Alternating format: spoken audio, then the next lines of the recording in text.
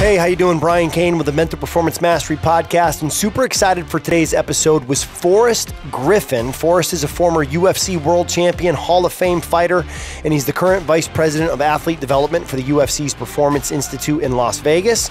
And Forrest is probably most famously known for his epic battle with Stephan Bonnar in the final of The Ultimate Fighter 1 live on Spike TV, which is widely credited as sparking the success of the organization this podcast. I'm really excited that Forrest opens up kind of the lid inside the mind of one of the UFC's icons. And he talks about kind of how he went from being a nursing major in college to a UFC Hall of Famer, how to battle some of those pre fight nerves and that nervous energy and channeling that into fuel. He talked about how, as a professional athlete, once you start making money, everything becomes more real and you focus more on the outcome of the performance and the passion and the process of the performance. He shares a lot of the life lessons that he learned. One of my favorite stories is his rock climbing experience. And he talks about what happens as an analogy in life when you look up or you look down, and neither of them is as good as if you just stay locked in on what your next foothold or handhold is. He talks about how the great ones lose themselves in the details of the preparation, the importance of faking it till you find it, and the power of self talk. We get into compartmentalization and separating who you are in the octagon and outside of the octagon. We get into a really cool conversation about what, how Forrest's career changed when he had his daughter and how routines allowed him to make the extraordinary just ordinary. He talks about it, the bathtub routine and ritual that he would use to eliminate negative self talk and self doubt, and how really one of the biggest things that he took out of being a mixed martial artist and professional athlete was learning to use failure as positive feedback. He shares the importance of being a shark and staying focused and hunting your next target, your next goal, and something that he recommends all professional athletes when they retire do in that career transition phase, which can be very difficult. And then he shares the importance of failing forward in living what you are teaching so that others will listen to you. Absolute pleasure having one of the UFC's icons and a Hall of Famer, Forrest Griffin. He's entertaining. Uh, he's actually a hell of a lot smarter than I thought he would be. So congrats, Forrest, on that. You fooled everybody. No, but you were great, man. I loved having you on here. Thanks for being with me. I know you're going to love the episode. Let's join Forrest Griffin, UFC Hall of Famer, champion, all around good dude.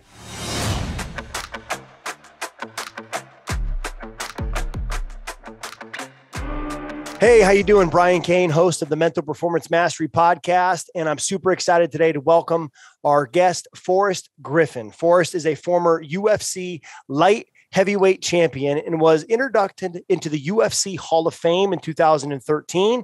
He currently serves as the vice president of athlete development for the UFC's Performance Institute. He's the author of one of the funniest books I've ever read, Got Fight. He was a former Georgia police officer before taking the world in the octagon by storm when he first rose to prominence after winning the first season of The Ultimate Fighter. In the tournament finals, he defeated Stephan Bonnar live on Spike TV, which is wildly credited as sparking the success of the UFC organization. I personally remember sitting on a couch in my friend Dan Nolan's house in Jay, Vermont, watching the fight, being glued to the TV and calling and texting all the guys I know saying, Holy shit, you have to turn this on, watch this fight. It's a pleasure to have mixed martial arts legend and former UFC world champion and the always entertaining Forrest Griffin on the show to talk about his mental preparation, life lessons learned, wisdom, and how you can benefit from all the punishment for Forrest took and delivered inside the octagon. Please welcome to the Mental Performance Mastery Podcast, fighting out of Athens, Georgia, by way of Las Vegas, Nevada. He is the former UFC light heavyweight champion, the UFC Hall of Famer, Forrest Griffin. Forrest, thank you for being here, man. Appreciate you being here.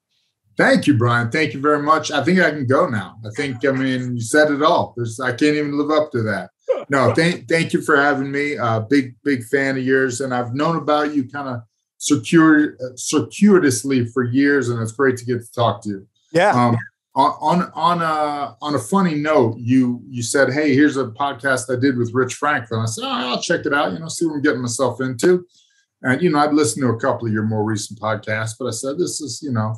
Uh, so it turns out, if you've listened, dear uh, viewers and listeners, if you've listened to the podcast with Rich Franklin, you don't actually need to listen to this one because our stories are pretty similar. Uh, you know, he was like, yeah, it's kind of the everyman. You know, I don't have. I was like, yeah, that's me. That's that's. Uh, yeah, he, he, took all the good lines. He took all the good lines. It, it's just funny to hear. Uh, you know, to hear how similar we kind of are. It's funny. You know, he and a lot of times people are like, "Hey, were you a teacher?" Or they'll say, "Hey, man, that was awesome when you beat Chuck," and I'm like, "Yeah, that wasn't me, but thanks." and also, we both look like um, Ace Ventura. Yeah, yes. We don't look like each other, which yes. is it's kind of weird. We don't really look like each other. Yeah, we both look like Jim Carrey. Yeah, it's funny you mentioned that because you guys definitely have both. I've heard been been referenced to as Ace Ventura and looking like Jim Carrey, but yeah, you don't look like each other. But you guys did share some octagon time together, you know, and I think that's interesting having both of you guys on here, uh, having you guys both shared the octagon there at UFC 126 in February 2011. Yep, somebody's Wikipedia works. exactly. and your internet connection is strong, Brian. Yes. I like it. yeah. Well, you know, Forrest, it's, let's let's kind of go back to where it all started for you. You know, because I'm excited to to get some of your wisdom. Yeah, yeah. My mom have, and dad met around 1976, and that's that's where it all. You know, I'm told it was a good night. I don't know. but so what, what what made you decide you wanted to get started into mixed martial arts fighting? Because at the time you were a, a Georgia police officer. Yeah, started getting into it. Is that right? No, I, I was already into it. Um, I was actually right before, like maybe a year before that. I kind of found it, and you know, just I'd done some tough man contests, and uh, you know, I kind of thought I could fight like most guys. And um, you know, the clincher for me was I'd seen like an early UFC from like the 90s 93 because this I guess 99. Which one? Do you remember? Like, do you remember who it was? The I don't know. I mean, I it was it was garbage. It was like, oh my god, these guys are like cliches of each other. Like this guy's got a mullet. It was like you know, like if you think about 93 to 99, things were really different. You know. So anyway, I, I thought it was dumb. And then um, you know, some friends of mine said, no, man, you you dig it, you'd like it. And I was just looking for something to do, like an outlet. And, um, you know, I think it was my defensive tactics instructor was like, you'd, you'd love this. And I saw, I believe it was UFC 15 with Randy Couture, Vitor Belfort. And I said, man, that is an actual sport. That is really cool. I want to do that. Except, do they have to wear the tighty pants like that? Can they wear like regular shorts? And then, you know, they put the short grabbing rule in where you can't grab shorts, and I was in. But no, I, uh, yeah, I saw it. I said, that's a sport. You know, that's, I immediately fell in love with that. I was like, this is the epitome of human competition, you know? Um, not to, you know, I don't know how blunt you like to be on your podcast, but when you pass a dude on the street, you think, man, I wonder how much money he makes, or, you know, I wonder this or one of that. But at the end of the day, who could beat who in a fight?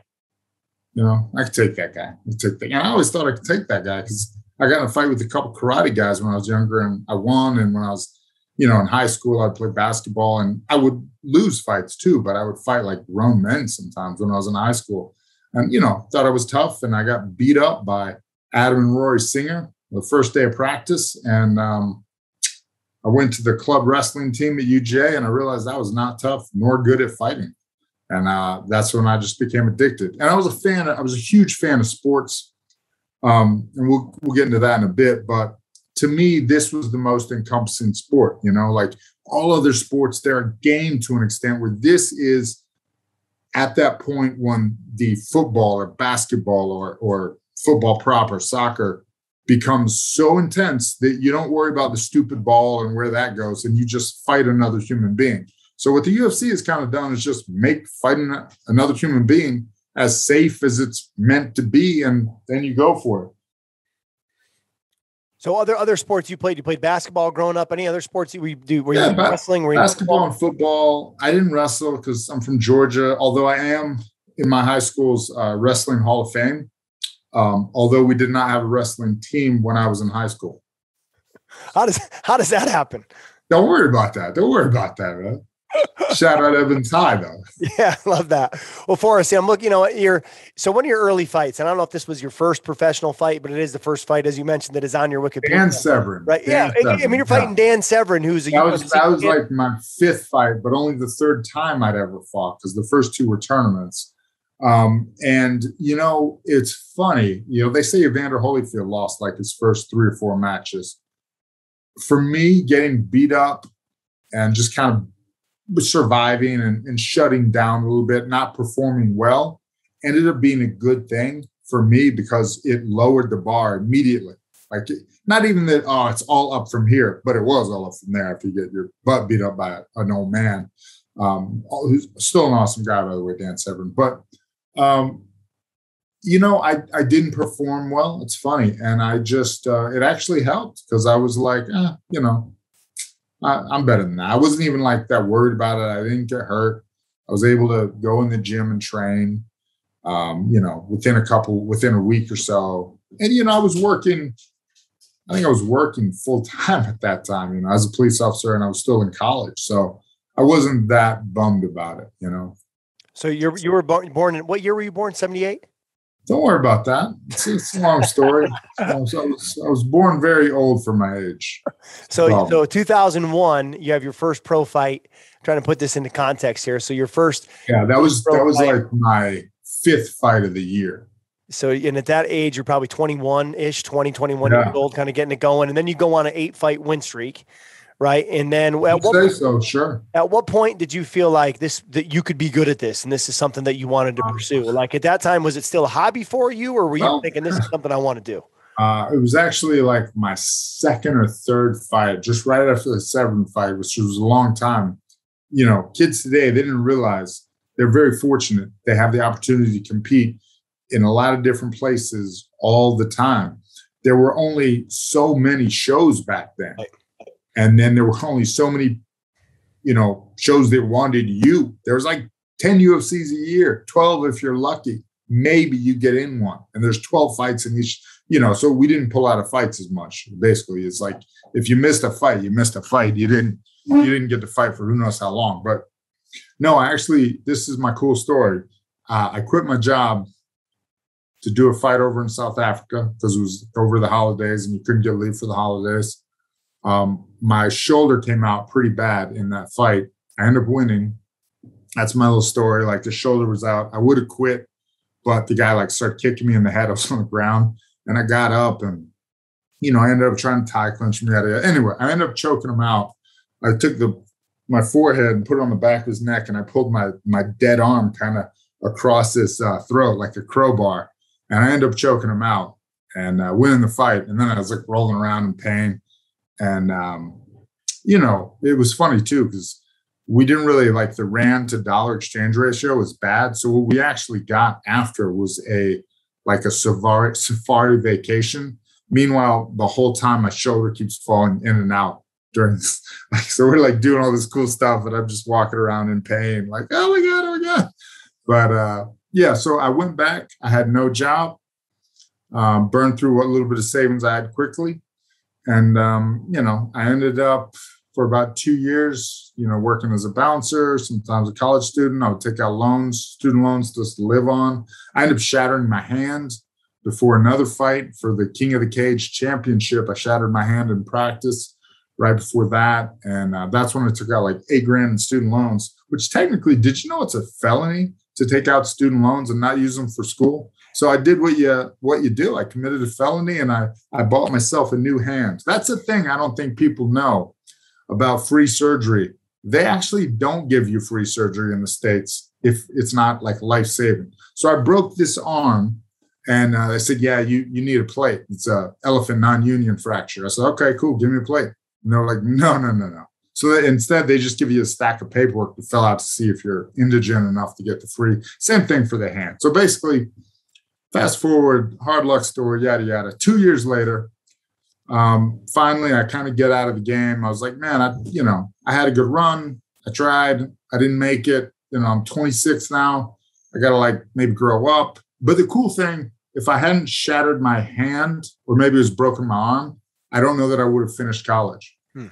But you know, I had I had some free time, so I might as well finish those last couple courses and write that paper. So I ended up graduating college, which you know made made everybody happy, including myself. Was, You know, six years later, you might as well do it. But um, yeah, so I was fortunate enough to get a job back in law enforcement, and um, you know, fast forward eleven months and twelve days, and I got a call to do the Ultimate Fight Last minute notice I was a replacement for some guy that failed a drug test for marijuana. Thank goodness for marijuana. Thank goodness it was illegal back then. But um, you know, so I uh, I had like I think 16 days to decide if I wanted to do it. And um, the department I worked for, if you quit at, before working a full year, you were not eligible to rehire, and there was no no way around it. And I had, you know, I had really like struggled to get that second law enforcement job like that. You know, I was, I, was, I had no car, nothing, yada yada. Um, I was I was on food stamps. I didn't even figure out how to use them. But uh, yeah, so I ended up getting the um, getting the call to do the show. Dropped everything, went and did the show. Um, at the airport, I called my lieutenant. I said, "Man, you know what? I think I might have messed up here. I'm in Atlanta at the airport. I can I like come back and unresign?" And he was like, "Yeah, you know." And I said, "All right, well, hold on." And I called the producer of the show and somehow I ended up talking to Dana White on the phone. Now, here's the thing I couldn't hear a thing he was saying because this is 2004. Do you remember cell phone service in 2004? It wasn't great. so I can't hear anything he's saying. And so I was like, ah, so I, you know, and, and just like I decide, like in the end, one, that I want to go train with Randy Couture and Chuck Liddell and see what it's all about and see how I compare to that level. Right. And then two, uh, it's better in life to regret the choices you make and the chances you take than the choices you don't make and the chances you don't take. And so, you know, pretty, I thought it was pretty sage wisdom for a kid of my age. Got on the plane, win the Ultimate Fighter, yada yada. yada. So you're you're that close to never even showing up to the Ultimate Fighter show. You're that close to going. Eh, I'm going to go back to the. I'm going to go back to the yeah. department. Yep, yep. Put everything I own in storage you know, I had a, I had like a decent setup in Augusta. Um, yeah, and you know, it's it's like when you get that opportunity. Now, a lot of people, uh, guys especially, take that opportunity and they have a wife, a kid, dependents, whatever. I didn't have any dependents. It was just me. I didn't have anybody, you know. So it was not a, you know, nobody was, yeah, nobody was dependent on me. I was still young enough. You think that decision would have been more difficult or a mm-hmm. different decision had you been married with kids like you are now? I wouldn't have done it. Yeah. Would not have done it. I mean, but there, there's, I don't know. I mean, it, well, it depends on financially. You know, maybe if my wife was a big time lawyer, I would have done it. Right. It's like, baby, you got this. You you could pay the bills. I just got to leave for like eight weeks. I'll be back though. So, you know? so T- take us inside the Ultimate Fighter house because I've worked with a, quite a few guys that have gone through that process. Yeah. one of the most difficult things. So first off, we did it for 61 days. They they shortened it to six weeks when they figured out what they were doing. Um, 61 days, yet I fought like nine days apart. Know, I only fought twice on the show, and it was there three times. It was like, you know, right, bang, bang. It, it was just, it was like one of the few times I can ever say that I didn't love fighting you know, it was just weird. It was just there's nothing else. There's no there's no break from fighting. It's always like in your face and the people you're going to fight, and it's just irritating. And I just started to go a little stir crazy, hence the shaving my head and whatnot. We got a surprise guest on here tonight for yeah, That's my daughter Ella. She want to hop on the podcast too? I mean, you know, she's got some great stories. She's got some wisdom. Is she still there? She want to hop on? No, no. Is that What's up, Ella? Ella, can you hear me? Oh no, she's she's up now. She's getting stuff. She's just I'm in I'm in I'm again. Well, you guys, the viewers probably didn't see this, but we're actually in uh, her crafting room. So I'm I'm you know I'm I'm a guest in this room. Yeah, I wanted to, I wanted to ask her what her favorite part about her dad is and see what she'd say. Ella, yeah. What's your favorite part about me? you helped me with khan Uh, well, did I helped her with Khan Academy yesterday? Nice. Okay. um, I, you know, I don't want to brag, Brian, but I'm I'm pretty decent at fourth grade math. Yeah, well, I was, you know, I mean, you did get that college degree. You know, you got yeah. that college degree, and then you noticed that it was 61 days, not 60 days, when you were in the Ultimate yeah. House. Yeah, I was and, counting. I was counting because every day was every day was torture. Oh, and then it concludes right with with the first. I think it was almost like the first live UFC fight on Spike TV. Yeah, it was only the second one ever that had been won on the best damn sports show for Fox that nobody knows about, but I was a huge fan, so I watched it live. So you and, and you and Stephan Bonnar get in there, right? And it and it's And I, you know, I remember watching the fight, as I thought, mentioned earlier in the intro the, to the podcast. I'm sitting on a couch at my buddy Dan Nolan's house in Jay, Vermont, and we're watching this going, holy shit. You know, and both you guys get the contract and one of the best, most storied fights in UFC history, maybe the most iconic fight.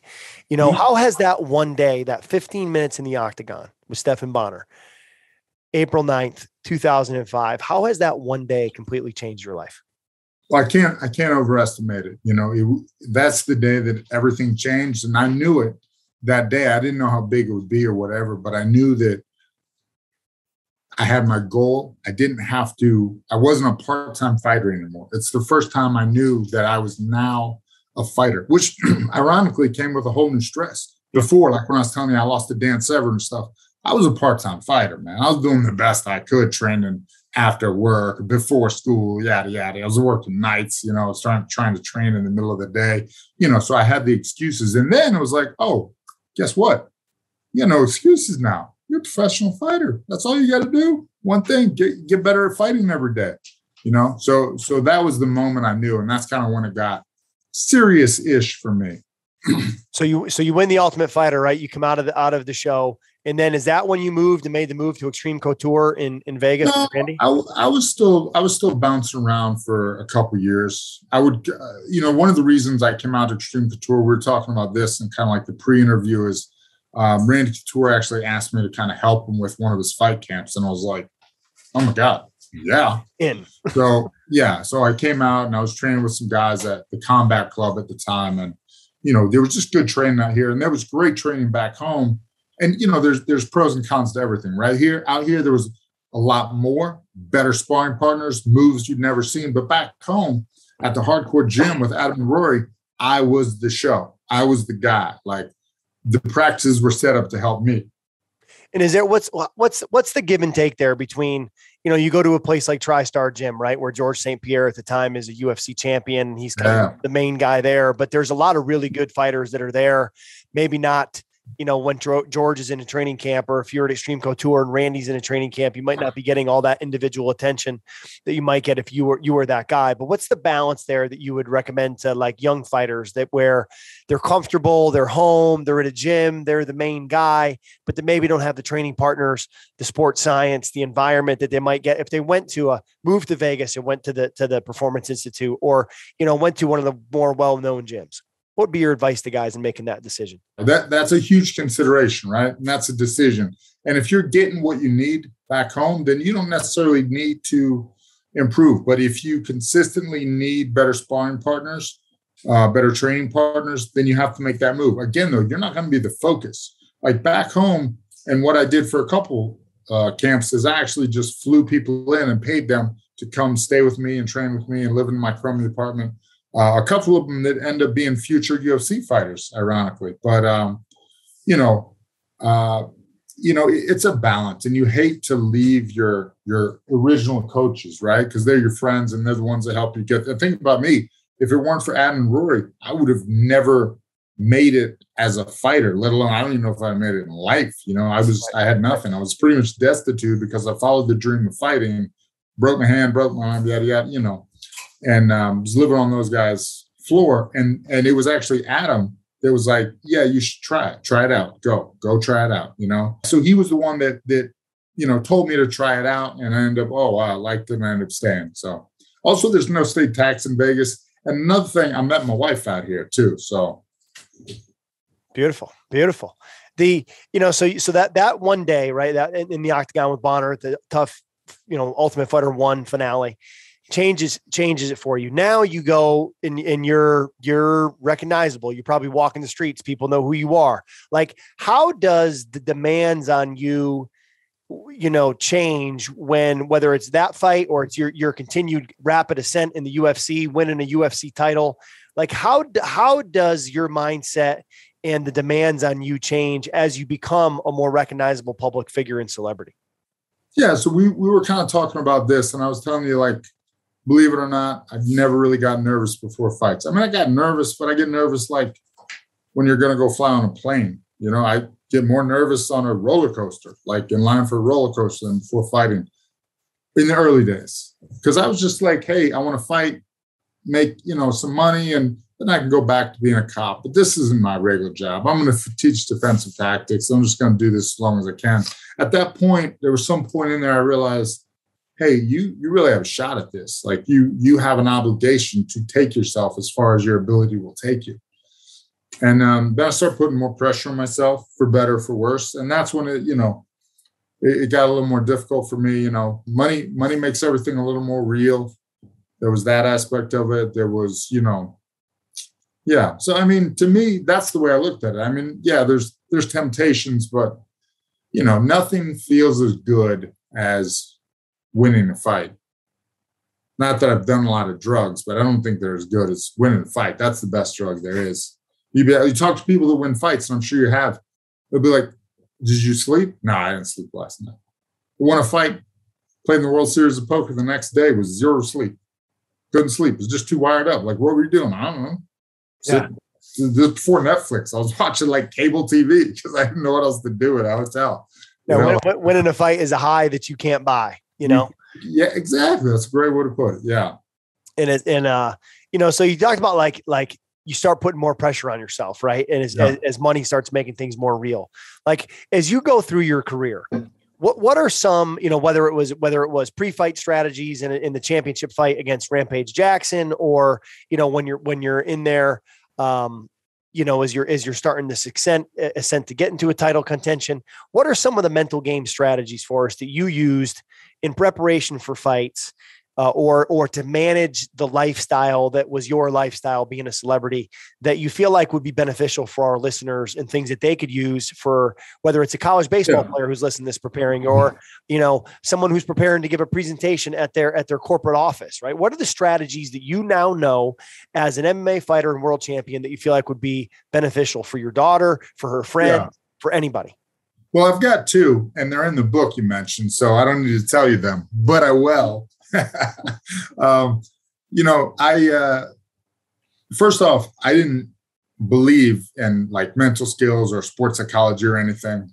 Um, you know, I just thought, I honestly thought, shame, shame to say now, I realize how useful it is, even in getting the most out of a practice, right? Setting yourself to be in the best mental space, to enjoy the practice, to learn from it, to get the most out of it. I didn't realize how much there were to mental skills. I thought it was literally like that guy's afraid to fight. That's why he needs a sports psychologist. I had no idea there were so many strategies, visualization, like all these things. You know, Randy Couture. Yeah, you were you were talking about the lemon thing, and I was like, oh my god, I've done that with him. I'm such an idiot. He's like literally talked about the lemon to your mouth waters. I'm like, oh, that's amazing. But so and that's the first thing. At the time, I, I wasn't a, a fan or a believer, but I did figure out a few things on my own. Um, one is that when you're in a fight or preparing for a fight, and this is again just another way to say what's already been said a million times. Um, be here now. There's nothing you can do about the future or the past. So the way the metaphor I use is rock climbing. I rock climbed once, and I saw that uh, that free whatever. Free solo. Yeah, I saw, I saw, that. So I'm an expert on rock climbing now. so I think about it like rock climbing. You know, um, three points of contact, you're looking for your next handhold, your next foothold. That's it. If you look up at the top of the mountain, it's daunting. You'll never make it. I'll never be a champion. You'll give up. If you look down, it's terrifying. You, you're going to die if you fall. You can get really hurt doing this. This is not a safe sport. People's legs go all bendy, uh, you know, Gumby all the time. Like that could happen to you. So you look for the next handhold, the next foothold. And in a fight, before I could find my zone, my rhythm, my flow, whatever it was, I would always put myself together and just lose myself in the details. Now, they'll say if you're in a fight and you have to think about what to do next, you're too slow. You've already lost. But I think that thinking about what you're going to do next, as long as you're doing it, you know, fast, boom, boom, my hands here, my hands there, it'll start coming. You know, you hear people say, fake it till you feel it. Well, my mom had a good one. She always say, Oh, now that's what she said. Fake it till you feel it. People say fake it till you make it. My mom said fake it till you feel it. And if you try that, it actually works. You start, you know. She also said if you have to ask her, honey, it's a no. But we'll go with the fake it till you feel it one. Yeah, you know. So Well, it's funny you mentioned "Fake It Till You Feel It." There's uh, there's a great clip of George St. Pierre on on the ESPN Highly Questionable yeah, yeah. before he fights Michael Bisping, and they say, "George, do you remember when you went from feeling not confident to no, now you are confident?" And he's like, "Confidence is a choice." He's like, when yeah. I'm in the locker room before the fight, I'm going to be nervous. I'm going to be scared. There's going to be self doubt because I know what's at stake. Like, you know, the reality of what you can lose if you lose. He mm-hmm. goes, but when I leave the locker room door and I start walking to the octagon, I will fake it. And by the time I get there, you know, I'll be in my routine. I'll hear my music. I will have watched the highlight video to my music. I will have a transformation that when I get to the octagon, I'll feel more confident and ready to go. And there was a great clip on Mike Tyson in a documentary where he talked about being in a locker room and being terrified. And like he would just, he would literally fake it and act. And when he got into the ring, he would act like he was a god, you know, and he would never yeah. take his eyes off of his opponent.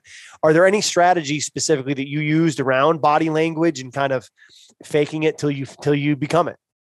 Absolutely not. You know, I was the most genuine and honest. So my thought on that was I don't care. I don't care about you. We're fighting. I don't care. There's not, I don't, I'm not trying to intimidate you. I'm not trying to not be intimidated by you. You are, you know, to me, because fighting is a violent thing and you can hurt people, I don't care about you. It's, it's, you know, complete sociopathy. It's not that I want to hurt you. I just don't care. It's me or you, so it's you. Um, so I just got my my own mental house in order, and then I figured, you know, that that's all I need. So I was never, you know, you get you get anxious. There, there's a crowd, but but the thing I always come back to is, and I identified this early in my life. Oh man, my stomach feels weird. Yeah, it does, because you don't need blood in your stomach right now. It's shutting down because digestion, not the most important thing right now. Everything feels like it's in car accident speed, like slow motion or something. This is weird. Yeah, it's weird. That's your nervous system getting ready to do what it it knows it's time. You know, your your snake brain knows what's going on. Your snake brain's been doing what it's been doing since you were hunting woolly fucking mammoths. You know, you you have it in you to survive. You, you know when it when it when it goes down your body is getting ready for that you know and that's why you get so exhausted sometimes. You see guys get so tired in fights. It's because they're so wound up. So that's where like the mental strategy is like just you know uh, arousal modification kind of come in. You only want to be too aroused you want to you know you want to have that perfect level of arousal yes you should be excited you should be nervous there's a lot of chemicals flowing through your body that's a that's a good thing.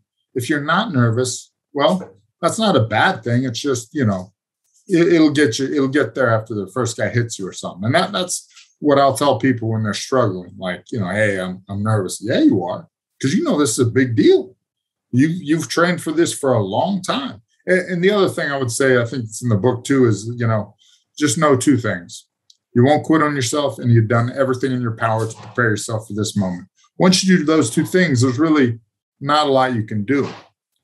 And it's funny, I, I, can do that with competition more than I can do that with life. Now, don't get me wrong, there were times I was not super confident in my own preparation because things had not gone well in my sparring right before the, the fight or something. But, you know, that's a valid concern. You know, I, I got knocked out in training, you know, Forrest, were there, were there ever times where, you know, I've had I've had guys that I've worked with who have said that they they felt like they lost the fight before it even began. You know, whether it was say, you know, GSP's talked about this, the first fight with Matt Hughes, the first fight with Matt Serra. Uh, I've had guys say like they're in the locker room and they just they just don't feel like they can get it going. Like they literally lost the fight in the locker room. Did you ever have an experience like that? No, no. I had I had a fight where I was fighting Jeff Monson, who's was a name. Um, and, and, you know, it was, was big as an opportunity for me. It was a big opportunity for me. And for whatever reason, I think I maybe worked at a club the night before, like bouncing, and then I had to drive two hours to the venue or whatever. And uh, man, I could not get going. I just could not physically. I couldn't break a sweat. I couldn't warm up. I have this elaborate routine, warm up routine that I would do. And, um, you know, I'm a big fan of, of routine, of doing the same thing. I, for me, the routine is what gets me through. The routine is what makes the extraordinary ordinary for me. So I, I need to dial in. I need to do my thing, and I just couldn't get going. Like to hit mitts, to do anything. I was just, my body just wasn't cooperating. And that's the only time I was like, oh my gosh, oh my gosh. But by the second round, he was as tired as I was of beating me up. So I ended up I ended up picking up the second, third round from him after he beat the crap out of me in the first round. You know, I never did get going. I just I just let him slow down to my pace. It was crazy. You end up you know winning that fight by decision. The, yeah. the you know so you thought about not being able to get it going and having the routine. I've never heard someone say it that way. That the routine is what makes the extra extraordinary ordinary. Yeah. Talk about. I mean, I'm ripping I'm ripping Hoosiers off. You know, I was at ten foot, fifty four feet. Yep all that stuff out there that's bigger, that doesn't change the octagon. The octagon is 30 foot or it's 25 foot. The canvas, is the, the padding's two and a half inches. The canvas is made out of canvas. The fencing's the fencing. It doesn't change no matter where you put it. The altitude might change. The, the humidity in, in the air might change. The time you're fighting might change. But, you know, those are all things that'll affect you, but really nothing outside of that octagon or a cage is going to affect you at all. The crowd, the noise, this, that. It, it will if you let it, but you can't let it. How do you? So you now now in your position, right? Working working with the the Performance Institute, right? Is you you are kind of now in a mentorship role to to fighters, and I'm sure you see all different mentalities from fighters, from people that have lost a fight in the locker room before, that get caught on things they can't control. Like in your experience now in the position that you're in, what are some of the commonalities that you see, like common mistakes that you see fighters make from a mental preparation mm-hmm. standpoint? You know, what I see a bit, and I don't do sports psychology, but I, I do more like a honestly, I do logistics. Like, what's the best way to train to get the best out of all these things that we provide, etc. But the the thing I do see, if somebody's not doing well in one area, they're training the this, the that, then their sleep, their relation, they'll they'll sabotage everything. So what I used to do with a diet was I used to look at it this way: look, if your car gets a flat tire, you're not going anywhere. So you might as well get your gun, get out, and shoot the other three tires out. that was always that was my mentality, you know. And you can see it's that that destructive downward spiral. I see that a lot. I see people, they don't want to, and this is a little bit what I'm talking about when I wasn't a full time fighter. They have that excuse in their back pocket. I didn't try as hard. I, well, you know, I didn't really prepare as much. So they're a little bit maybe intimidated, or one thing isn't going well in their weight or their training or, you know, their wrestling, takedown defense, whatever it may be. And they let it, they intentionally undercut the rest of their performance. So when they get in there, it's like, well, I, it's the kid that didn't study for the test, the smart kid that doesn't study for the test, because if he never tries, he never loses, you know?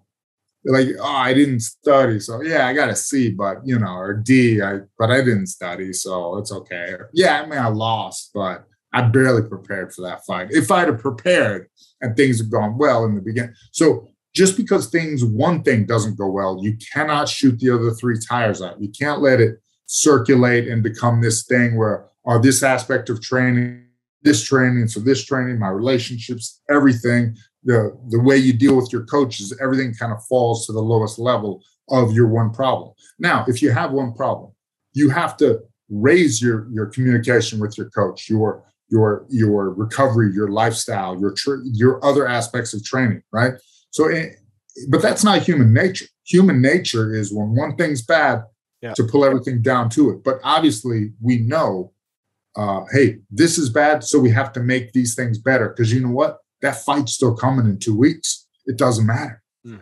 And and you know, I, I'm able to to tell people this not because I'm smart, not because I've you know, uh, you know, I, I'm able because I have perspective.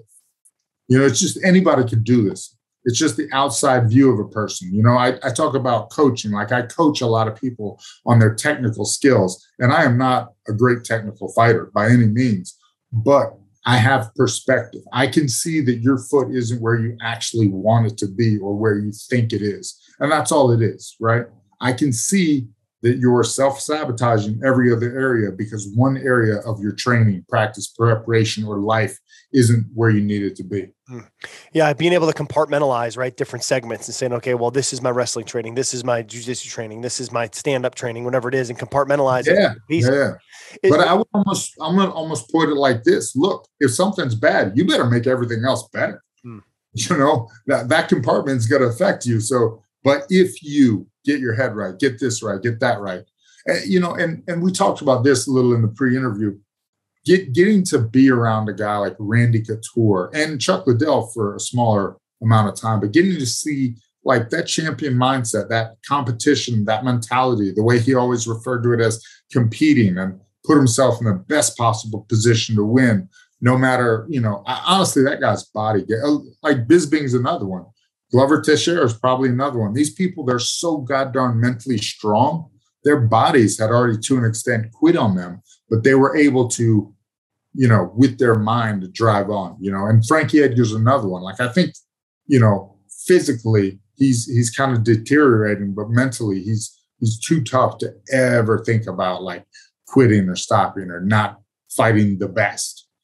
You mentioned being, you just mentioned some of the best guys, right? Frankie Edgar, Chuck well, Liddell, Randy. Yeah, Cooper. I mean, I'm, I'm, a tough dude, but when my body broke down, as it did pretty early, my, my mind broke down, which isn't to say that that's wrong. You know, you like, oh, I'm fighting with one arm the last three years of my career. I knew it, but I wasn't so mentally strong as to work on other things or to change my game or to, you know, to double down on that mental strength. So I was just average tough. These guys are super tough.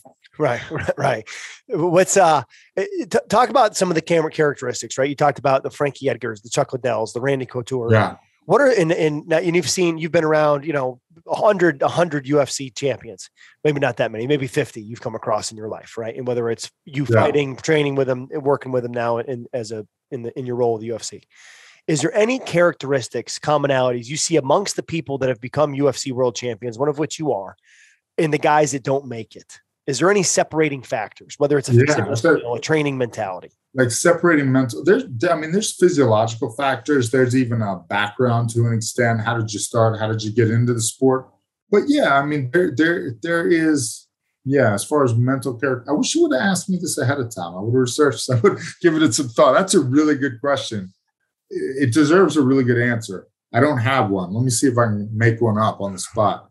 Um, let's turn. Let me see. Let's turn to page. Yeah, it's in there somewhere. We will. We will.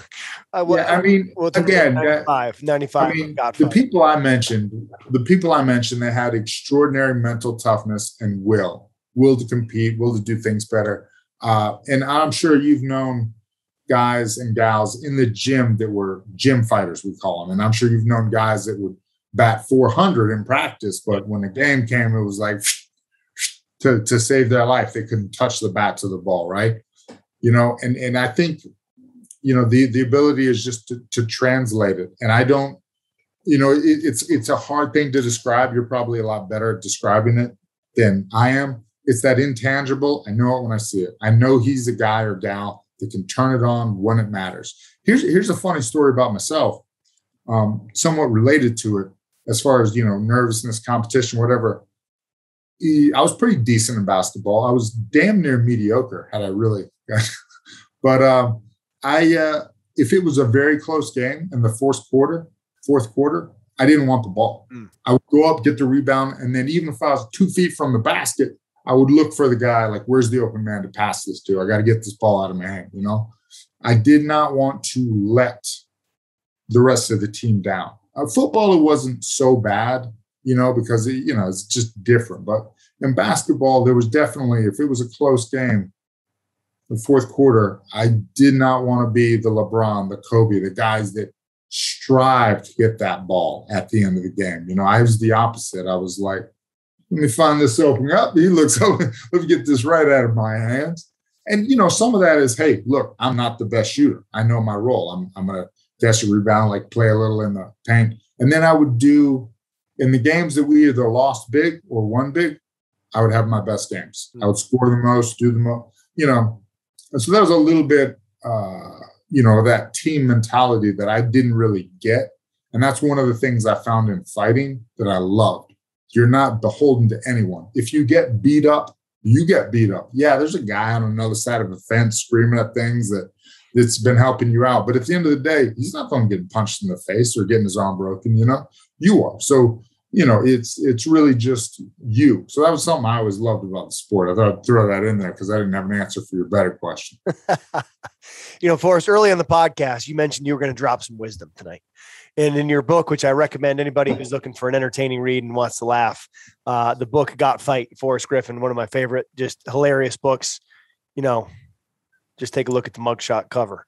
But there's there's th- things in here, you know, that that uh, funny as funny as it is, there's a lot of things in here I think that that are wisdom that can be applied to everyday life. You know, what are some of those principles that you take from martial arts that you apply to everyday life? Like you talked about the, the concept of, of compartmentalization and about routine takes things that are extraordinary to make them ordinary, about faking it till you feel it. I mean, these are things that you can use in anyday life. Is there anything yeah. else, anything else? You mentioned visualization, anything else that you feel like was important to you in your career that you you could take you know and use in everyday life so our listeners could go oh, i can try that well, well it's funny i i um i found these things on accident and only now do i study mental skills you know i i'm i, got to write a section in our new uh, uh, we call it the journal, but the basically the UFCPI manual is 480 pages. I got to write some mental skills section that, you know, with with all the, you know, we talk about the visualization, mental imagery, uh, all those things. And, and now I get them and, and how effective they can be in improving your practice and your life. But one that I came to uh, pretty early in my career, because a lot of times in fighting, you'll lay in a hot bath in an attempt to lose some weight, right? You just you start sweating. Once you get the sweat, well, that's why I used to do it. I would work around plastics till I start sweating. I keep the the room very humid, you know, and then I would just get in the hot bath as hot as you could take it, maybe just a little hotter. And I was sitting there, and you're going to have negative thoughts. They're going to creep into your mind. And I know you're supposed to identify them, kick them out or something, but I had in my head that there was a way to not let mental thoughts come into your head, to immediately replace them with positive thoughts. So what I would do is I would go ahead and I would almost like feel sorry for myself in that hot bath because it sucks a little bit. And it's something you do before every fight. So I would lay on the hot bath and I would think of every bad thing that could happen. I could do this, I could do this. Potential mate I'll ever have was going to see me get beat up. You know, you got knocked out in practice. You got this. I Think every bad thing, every every you know negative thing that desired to pop in my head. I just go ahead and I'd never speak it out loud, but I'd go ahead and you'll never hear me say I was afraid and nervous. It's just not. It's just not something I want to do. But I would let that come out and I would let it sit in the hot water. And then I would just open the drain and I let let every negative emotion, thought, and sometimes there weren't even thoughts, just feelings. And I would visualize them in my own head. Everything bad is going down that drain. And I would let the water until you're like, you kind of feel silly because now you're in a dry tub laying down. But you, you let everything bad go down. And then you, you get up, you stand up, and you take a nice, cool, not cold, but cool, refreshing shower, you know, to stop the sweating because you sweat as much as you need to. And then I would just feel that cool water. When you're hot, it feels great. You know, so like if you do the cold shower thing, it's not so bad if you get out of a sauna, right? You know, you do the hot, whatever. Um, and it, it felt great. And I just, you know, I, I envision that as like the positive energy, the positivity, the good things like falling down on my head. And um, you know, that's kind of how I would do it. And if I were to do it again, I would incorporate some breathing into that sort of thing. You know, that's a great way to to trigger your nervous system and get the results you're looking for. And you know, yeah. Love that. It'd be cool if I said all that on mute. I mean, yeah, no, we got you. Yeah, I'll, I'll, I'll, sorry, Forrest, you said yeah, it was a, you, you muted yourself there. the uh you know Forrest now now in your role right anything anything that you do did like you not like my bath did you not like imagining me in a bathtub no I, I, didn't like the i didn't like the idea of the water going down the drain because I thought that you would just live in the negativity, that you'd want to keep it with you, that you are a guy that would want to keep that with you, that you probably would take it and you'd rehydrate by drinking the negative. I would drink the bath. Yeah, like you'd have the bad water. stuff go in the tub and you'd say, hey, we got to put this into an IV so I can pump this back into me after the weigh-ins so that I can bring the negative back into uh, my soul. You seem like that kind of guy. But the, God, uh, you know me well. Wow. You, pretty good at your job because you you got me pegged in like 30 minutes. That's not that's not unimpressive, Brian. Is there you know so t- t- let's talk about the transition out, right? So, so yeah. you're UFC world champion uh, at the time. Let's actually talk about that fight for a moment because you know you win the title against the guy who at the time is on a damn tear in Rampage yeah. Jackson, right? I mean, he's he's come over to the UFC. He's beat, beat Chuck Liddell, beat Dan Henderson, unifies that with the Pride Belt, whatever that means at the time. Yep. But he's like the baddest dude on the planet, right? And now you're getting in the octagon with him. Is there any intimidation? Is there any fear, or is this like you going in the octagon knowing, no, this is my night, dude? Like I'm going to be a UFC world champion. Yeah, it's funny. So that that's one of the first times I ever got like really nervous. like, you know, before it was kind of like whatever. That was whoa. no, so that was that was one of the first times I ever got nervous. And I was like, oh my gosh. So there I am, like before the fight, like, oh boy, oh boy. And I tell you what, I came out a little stiff. I mean, I'm stiff, dude. I'm a stiff dude. I'm, you know, I'm uh, well, besides Cowboy, I'm one of the stiffest fighters I'll see. He might even be more cardboardy than me, but you know, I came out really stiff. And um, one thing I've always said, and I've always found true, is you know, Mike Tyson said everybody gets a has a plan until they get hit in the mouth. Well, my plan was always to just go out and get hit in the mouth and figure it out from there. And Quinton Jackson was nice enough to oblige and hit me right in the mouth really hard. And that's just kind of when it like it all came on. I was like, okay, all right, I got you. I'm cool. I got this. And that was, um, you know, that, that kind of set it right. But but that was the moment I was like, just telling myself, and I don't remember that well, but I, I think the point I was telling myself is like, hey, once you get in there, once you get going, it's gonna it's gonna be fine. Everything's gonna be fine once it gets going. This is just a weird thing you're having right now. Who knows? You slept wrong. You had too much coffee. You know, who knows what's going on? Once you get in there and get going, again, you've done this a lot. Your body knows what you're doing. You're going to start doing your thing. It is okay. And one thing I was really good about was never, uh, I think, I forget who pointed this out, but I would never say rampage. I would say, yeah, I'm Mr. Quinton Jackson, you know, Quinton Jackson. And, you know, I would just use people like the name. And I never let my opponent's amazingness get in my head. Never. Um, you know, and I would just like, you know, I would just call people kind of by their name instead of like this or that, the nickname too. But yeah, that was that was kind of the first time that I was ever like, wow, man. And that's kind of what I told myself is look, man, you put the work in, you know, get in there, do your thing, it'll be all right. You know, so, so the, what you're mentioning there, right? A strategy is like talking to yourself, not listening. Like you're telling yourself, yeah. you don't feel right. Maybe you had too much coffee. Maybe you had this. But when you get in there and contact is made, you've done this for a long time. You've gotten in the cage before and not felt yeah. great until you got hit in the mouth and then you started going, right? So, like yeah. the mentality of talk to yourself, don't listen, but also understanding that anticipation is worse than participation. Oh, always, always. Right? Unpack that for us a little bit. Like, I think a lot of times people think that when they're nervous or they're anxious before an event, whether it's a fight or it's a meeting or you're speaking somewhere, there's yeah. nothing's wrong with them. And it's like, no, man, that's just part of the ticket to admission. Like, that's part of well, the that, process. Yeah. And it's a good thing, man. That's what I was trying to say earlier is it's a good thing. That means your body's like, oh, this is a big deal. Yeah, it is a big deal, which is cool. These are the moments like when you're nervous before something, that means it matters. That's the kind of stuff you're going to remember for better for worse. So to me, that's that's a good thing. Like jumping out of a plane, getting to fly in like a crazy F sixteen with the Thunderbirds. Yeah, I mean, they, they were like, uh, so I got to fly in an F sixteen, and they're like, "Are you nervous?" I was like, "No, should I be?" And they were like, mm, "Not no." I was like, "Yeah, I'm not. I'm not. This guy, this guy's done this a thousand times. I'll be fine because I'm with him." You know. Um, T- take me through the F 16, man. I've seen the Blue Angels. I've never been in a plane like that, but I've seen the Blue yeah. Angels fly a bunch. What was that like for you getting in there? Oh man, it was awesome, you know. And it was sometimes uh, you talk about people that do psychedelics. Maybe sometimes you get a little in your own head, and you just want to shake the snow globe a little bit. And I was really looking forward to that. I wanted to, I wanted to go through the emotions and get scared and get this and get high and you know all those things that come with something like that. Because i want to shake the snow globe you know? It's funny how stuff like that um, i was looking forward to it. Like i was like jones to go. I was like you know life's life. You can get in a bit of a rut. This is a great way to shake the snow globe and find out what's what's important to you. Like you know um, if you've ever been on a plane that you thought was going to crash you you have like a couple moments of clarity where you're like, man, you know, my wife, my kid, my family, what's really important, what's not. Um, you know, people after big losses, you see, you know, a loss shakes the tree and lets all the dead leaves fall off, the stuff you don't need. That's not a bad thing, you know. I, and and that's what I love too about mixed martial arts in general is like the best have lost. The best, Randy Couture has like eight losses people lose all the time. The best in the world have lost. I mean, Conor McGregor loses every fight and he's still awesome, right?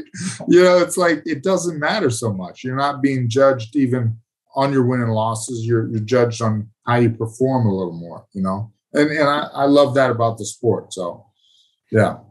You know, Forrest, let's fast forward here from from, you know, you win the fight with Quinton Jackson. Um, and then you know you still have a career another four years fighting a who's who of of UFC you know world champions and Rashad Evans, Anderson Silva, Tito Ortiz twice, Rich Franklin, and, and Shogun Rua. And then you retire after that fight with Tito Ortiz in July of 2012. What was the transition like for you?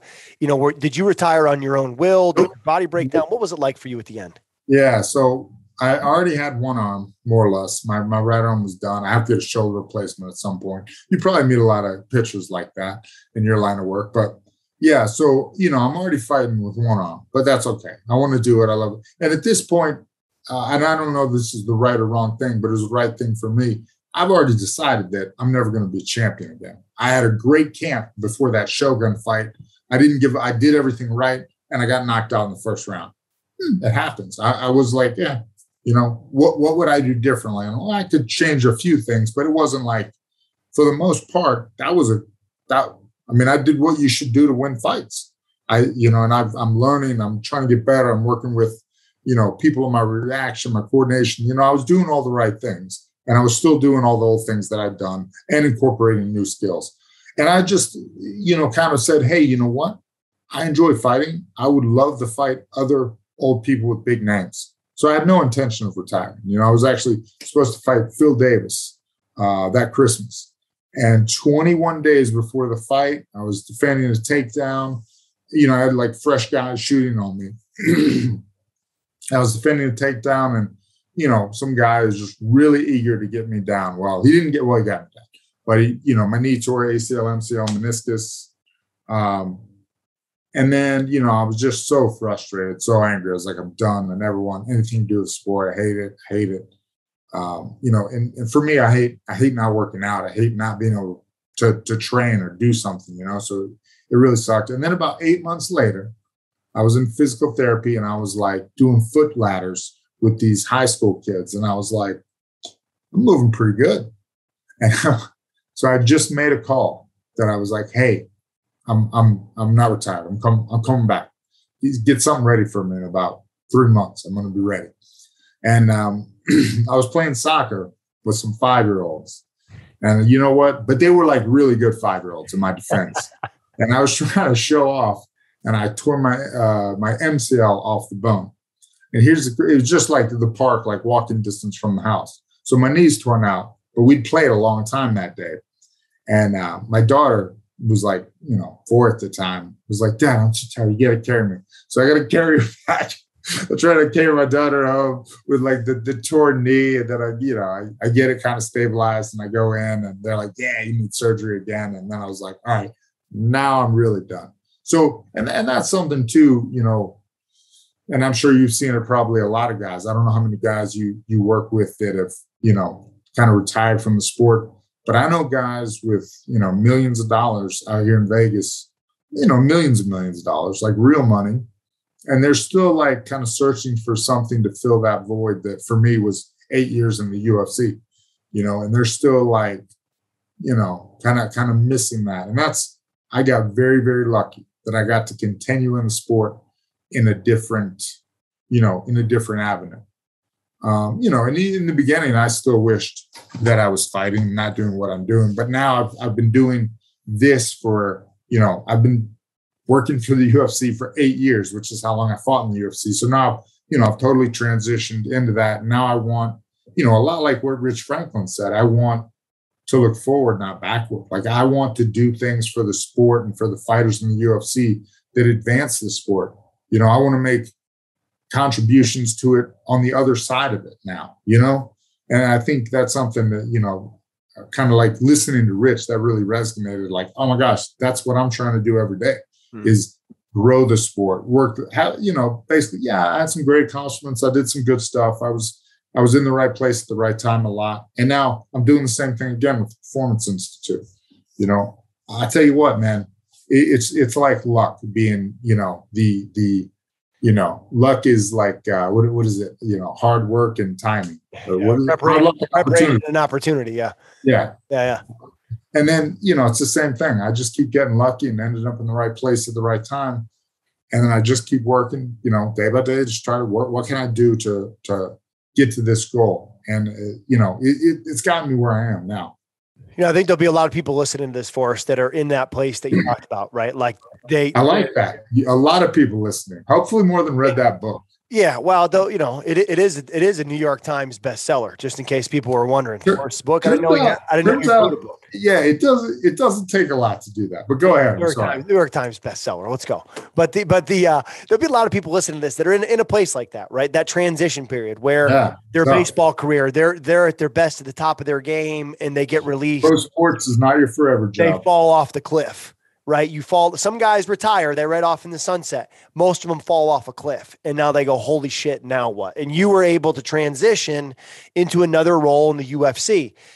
Now that you've made that transition, if you could rewind the clock eight years and grab the Forrest Griffin, who's whose whose professional athletics career just came to a close, what would you share with that guy, or what would you share with the people listening to this that are in that period of transition, going, shit, everything I've done my entire life as a professional golfer, baseball player, fighter, or whatever. Now I got to make a transition. Whoa. What would you share with and, me? And it's hard too. It's like, you know, what do you do when you've already had your dream job and you've timed out of your dream job? Like I grew up as a kid. I didn't want to be an executive at the UFC. You're like, oh, well, I really want to sit in an office and help fighters. Like, no, I want to sit in an octagon and beat people up. So um, you have to reprioritize. You have to find new goals. Again, uh, when I speak to kids, I say, be a shark. Don't don't be a fish. Just be a shark. Be moving towards your next meal, towards your next target. Immediately, when your career stops, what do I want to do? What do I want to be good at? What's my next great passion? And hopefully, you have enough money to set yourself up to to buy a little time so you can figure out what it is you really want to do. But I'll tell you another story. Like, so I started college as a nursing major, and I was like and then I found, well, I found out I, I wasn't very good at chemistry or calculus. So I quickly changed my major.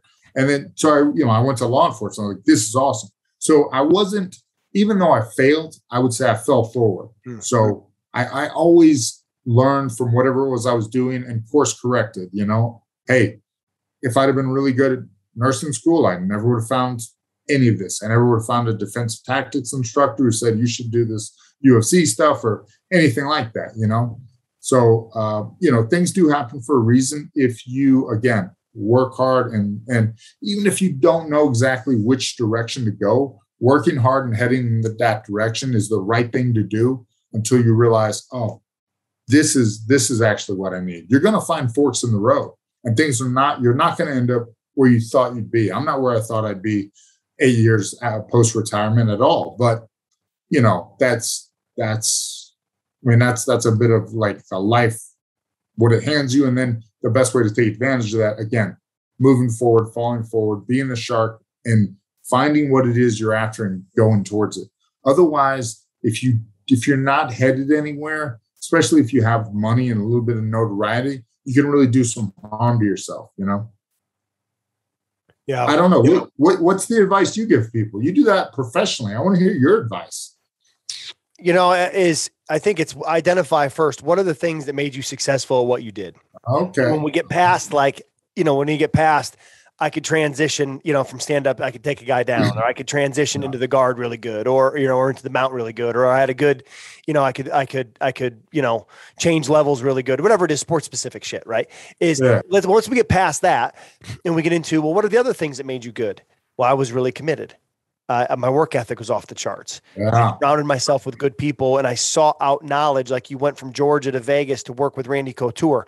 You took a risk and a gamble on yourself and went from the comfortable and what was known and what was safe and what was consistent of the job as a police officer. And you rolled the dice on Forrest and you went to Vegas to the ultimate fighter right? You're and so you start looking at past the superficial. I don't say superficial, mm. past the surface level physical, specific yeah. skills, but into I'm really good at being 6'3", 200 Yeah, right, right. Really good at You get into the character skills in terms of like what made you good, and once they identify those, and we write them down so they can see them. So we're not talking, but we're not we're not you know talking the talk. We're walking the walk. I put it down so you can see them, and I go these skills right here that made you a world champion or made you a professional yeah. athlete. You take that and roll it into real estate roll it into business, yep. roll it into uh, entrepreneurship, roll that into coaching, roll that into parenting.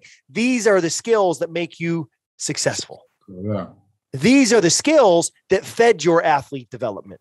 So now take these same skills and let's identify what you want to do and let's go let's go use those skills in that that's, direction. That's awesome, Brian. That's awesome. I will throw one caveat in there though. Yeah.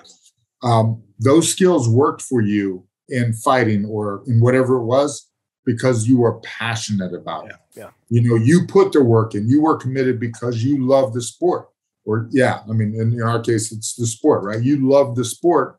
And that's why you were able to, uh, you know, to use that commitment, that drive, that determination, that whatever, you know, mental resilience. You know, I, I talked to a guy, he's like a kind of a famous movie star, you know, and he he has the ability to get laughed out, out of an audition a hundred times and not lose enthusiasm to go in the hundred and first time. And that's what's going to make him successful in anything he does. Whereas, you know, I've been in those audition rooms and being like, oh, geez, this isn't going well, you know. But my, my point is you you have to find something that you're passionate about to bring all those skills forth, right?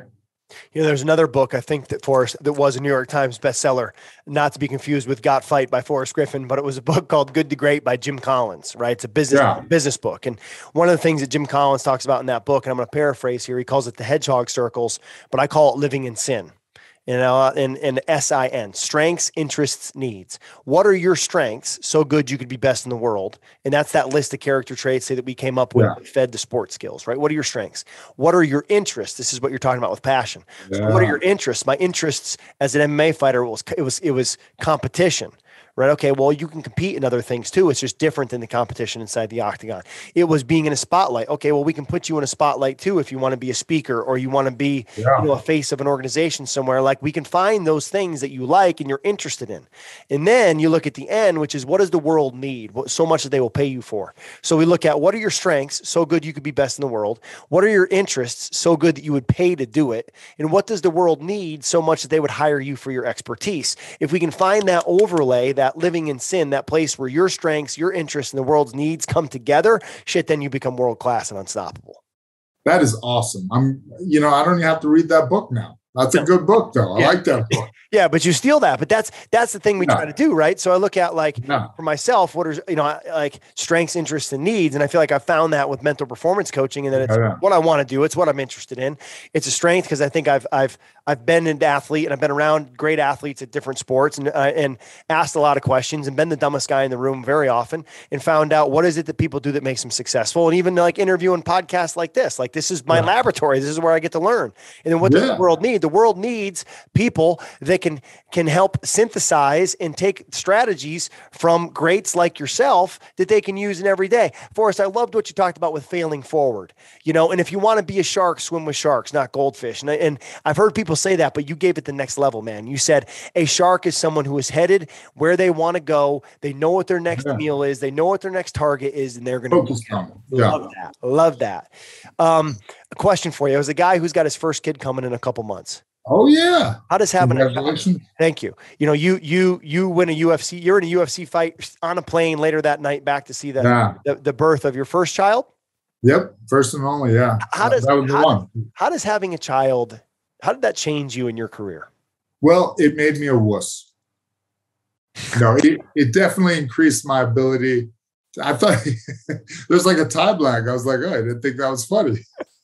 no, it definitely uh, increased my ability uh, just to have empathy hmm. for others. And now I like kids. Before I didn't, I was like, take it or leave it. I had a lot of friends that had kids, and I was like, yeah, we'll play with your kid. Uh, now I'm like, oh, let's play. So um, again, it, it's going to be amazing. Like again, it's just like a little bit like the fight advice. Like once it happens, you're like, yes, this is where I'm meant to be. This is amazing. And my wife was even worried that like maybe uh, maybe I'm not like a great father or whatever, or I was worried that maybe I wasn't gonna love it. But you look, you're it's like performing. You're you're genetically predispositioned. The second you see that child, probably even now, it becomes the most important thing in your life. And you can't really explain it to people that don't have a kid yet. But once they, you know, once they see your child, once you see your child, like, okay, this is what it's about. This is why I'm here. I have to make sure that this thing survives and does well in the world. And it's it's awesome. It's definitely a purpose. It's it's a passion. It's all the things we just talked about. And you know, oh, we were talking about like I was worried maybe I won't be a great parent or whatever. My wife was like, "Hey, you love pets, though. You know, you love pets. You're at least tolerable to other people's children when they're throwing up. You know, you think babies are cute. You're all right. You don't have to like, oh well, I don't have any you know, I don't like grow up with like siblings, right? So I'm not like whatever. But yeah, I mean, it, it's it's amazing. And the one thing, you know, my daughter's already eight, so she's halfway out of the house. Mm. Spend as much time as you can, just the time, right? There's no substitute for time. And I think, how old are you? 43. 43, you young man. I'm 44. Were you 77 or 78? 78. Okay, 77. but yeah, you um you realize too, a kid really defines because you start thinking about like, well, my daughter's going to get married and I'm going to go to her marriage and I want to dance with her at her wedding. And, you know, I, I want to see a grandchild. And you really start thinking about how life is life. The things we accomplish are great. Money's great. You got to have some of it. But, you know, the most important resource is your time. That is by far the most important resource. And having a kid for me put that in line, right? Because I like to work. I have a cool job, right? Like I like to watch fights and study and, and learn about sports science and sports psychology and all this stuff. It's a great job. But at the same time, I also need to be around my kid. And the more you're around your kid, the more you want to be around them. I was very, very fortunate when I had my daughter. I was still fighting and then I would just, you know, I, I got to basically spend every afternoon between the two training sessions with her. So it was really, really good for me. Um, and then even when I was laid up, I was laid up on and off for a year with the, the knee surgeries, you know, the better part of a year. I was, you know, laid up. I couldn't even make it upstairs. And she would, you know, bring me ice packs when she was like four, right? You know, which is just awesome, right? Um, and yeah, so you're you're gonna love it, man. It's gonna, you know, it's literally it's what you are on this earth to do is make a child. And so you're just gonna love it. It changes everything. It's awesome.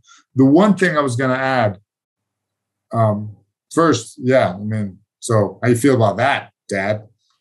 Good. Yeah. It's uh the, the the piece about time is your most precious resource, right? I, I agree with that 100%. It puts it in perspective though. Yeah, you can get more money, you can get more fame, you can get more success. You should, you ain't getting more time.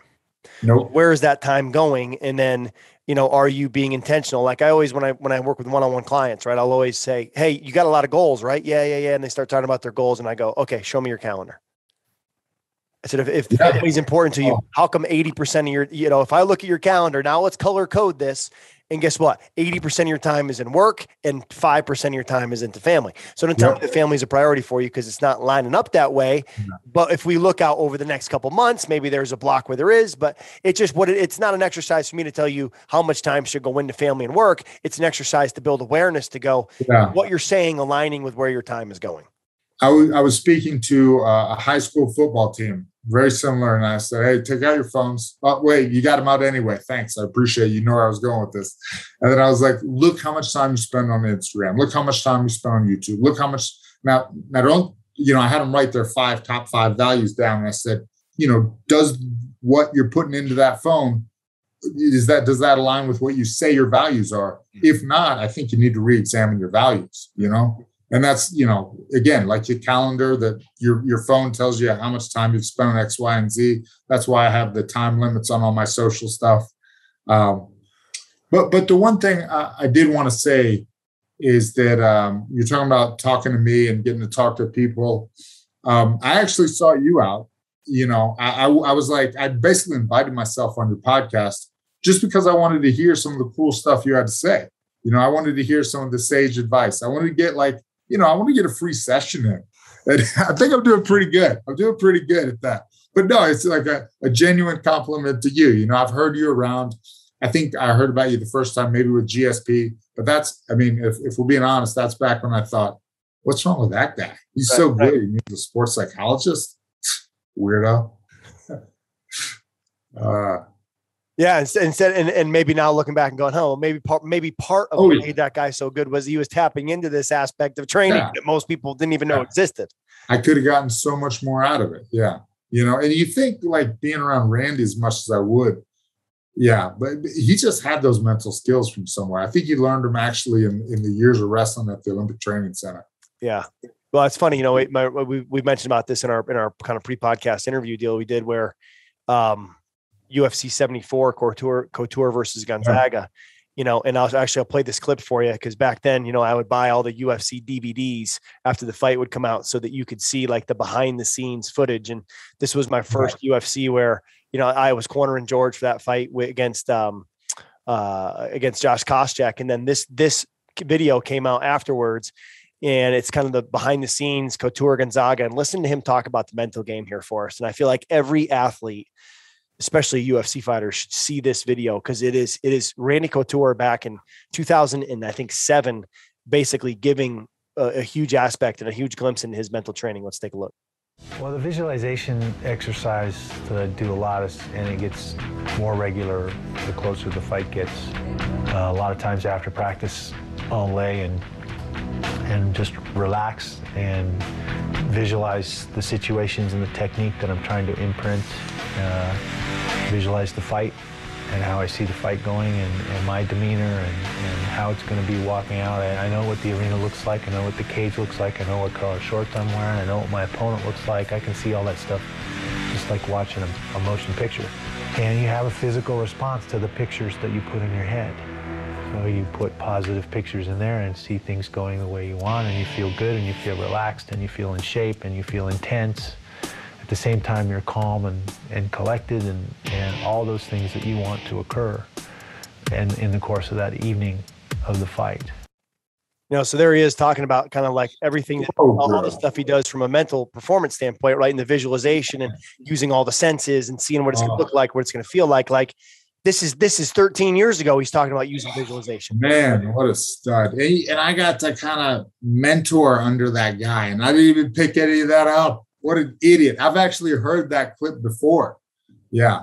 And yeah. So, you know, there was a lot to pick up from him. I remember him working half guard top on me, like with that ground and pound. And then I remember him finishing Gonzaga with that. I remember him throwing that inside kick he threw to Sylvia to the overhand right and drilling it again and again and joking with someone, oh, does he have a Thai fight coming up? Is he fighting Muay Thai soon or something? You know, like um, and and and you know, so I was picking up the technical aspects of what he was doing, of how he was training, but I wasn't necessarily picking up the, those mental aspects. You know, those those you know, he Randy was a a great teacher in that like he was a leader, like he did it. But you had to be smart enough to follow him, and on the physical stuff, and on the way he he prepared his body. You know, I remember I remember when that guy was in the gym doing the uh, adjustment stuff um, you know, I followed him, but I didn't I didn't catch up on the mental stuff in time. Yeah. What a what an awesome dude. Interesting because at, at that fight, right? I remember I remember it was um, we were getting ready to go to the post fight press conference and I was actually in the bathroom right there beside before the outside of the press conference room and, and Randy's in there. It's just Randy and I were sitting there washing our hands before the meeting, you know, and I was like, Hey man, congrats on the win. And then I asked him, I said, Hey, you know, I was uh, did some work with George for this fight. And, you know, I was, I was actually looking up some of the stuff and reading some of the stuff you talked about from a mental game perspective. He's like, tell me about, tell me about kind of what do you do from a mental standpoint? And he talked exactly about the visualization.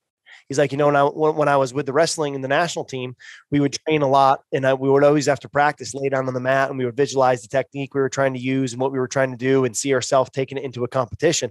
And he actually mentioned you. He goes, you know, now I got all these young guys in the gym, and guys like Forrest and these other guys. You know, it's hard to keep up with them and the, the amount of volume that they're doing in training. So I want my training to be shorter, uh, more more like you know more uh, competition like, more game like, more more more you know specific and then i'll visualize after training to kind of get some more mental reps. I thought that was awesome and he, he, did he did give you a shout out there in the bathroom there at the mandalay bay saying i can't keep up with guys like that that are so young going hard all the time.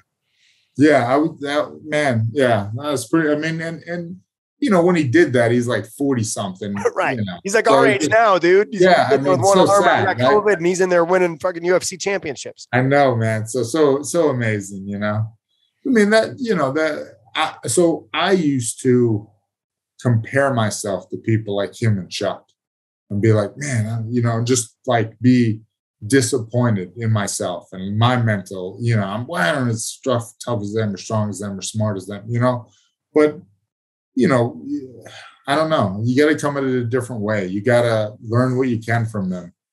And uh, fortunately, I love both those guys, like genuinely just great people. So, um, yeah, I mean, but but there's there's a danger in comparing yourself to that level of excellence and you know being disappointed in yourself when you don't achieve it so i don't i don't know I think you know su- success leaves clues, right? So we're trying to uncover what are the yeah. things that the great ones do, and if you, it's interesting because as I as I jump into different sports, right? Whether it's UFC, whether it's baseball, PGA golf, women's tie down, calf roping, swimming, like yeah. skeleton in the Olympics, success leaves clues. And some of those clues are like control what you can control because there's so many things in competitive sports that you can't control, like visualization and mental preparation. If you look at my 10 pillars in that in that framework, those are consistent across the board. It doesn't matter what sport, you know. And I think another part of that elite mindset, which athletes have a specific mindset of things like controlling what you can control. But another one is they compete versus compare. Because if you play the comparison game, you lose all the time. But if you're competing to be the better version of you and you're competing to can I be 1% better today than I was yesterday and better tomorrow than I am today, and I keep learning and I keep evolving and I keep growing, you can you can be the best version of you. You know, and you can give yourself that best chance for success. But it doesn't happen when you play the comparison game because I think what, what happens a lot is you start looking at how other people are training. You start looking at what other people are doing and you don't then then trust what you do, you start questioning what you're doing because you're looking too much at what other people do. Instead of, let me look at the sports science, let me learn about physiology, let me learn about psychology, let me talk to people who are doing it at a high level, let me gather information and then refine my process so I have a process I can trust instead of yeah. searching all the time.